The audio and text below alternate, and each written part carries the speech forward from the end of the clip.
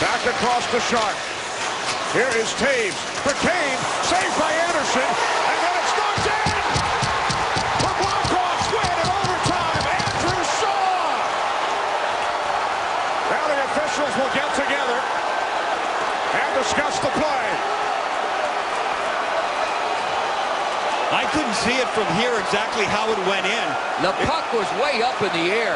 Here, it pops up off the shoulder, and then Shaw. Oh my goodness! Wow. That is incredible. He headbutts it in. What a soccer play. Shaw with the header to beat Andersen. We have moved on the The Chicago person deliberately headbutted the puck in the net, no goal.